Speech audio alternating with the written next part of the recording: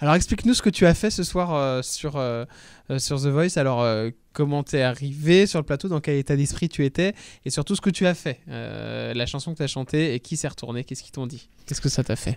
Alors, donc, je suis arrivé sur le plateau, j'ai fait, j'ai interprété Je serai là de Slimane, qui est une chanson sur le temps qui passe et surtout sur, sur les mamans. Donc, du coup, il y a Florent Pagny et, et Zazie qui se sont retournés. J'ai choisi, j'ai choisi Zazie.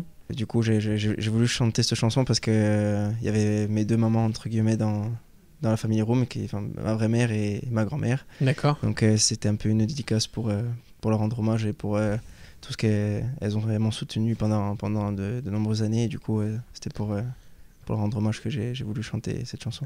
Euh, il s'est passé ouais, des choses, euh, des moments difficiles? C'est de ça peut-être que tu veux Euh, ouais, bah, il y, a- il y a deux ans, j'avais tenté l'expérience. euh, enfin, on m'avait proposé de, de faire l'émission. Oui, Et du coup, euh, ça s'était pas retourné. J'avais été diffusé.